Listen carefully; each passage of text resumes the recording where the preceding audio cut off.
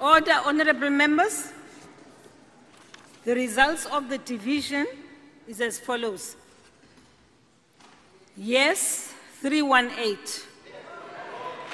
Noes, 43. Abstention, 1. The question is agreed to and Advocate B Mkhwebane is accordingly removed from the office of the Public Protector according to the recommendation of this House. Thank you very much, honorable members. Honorable members,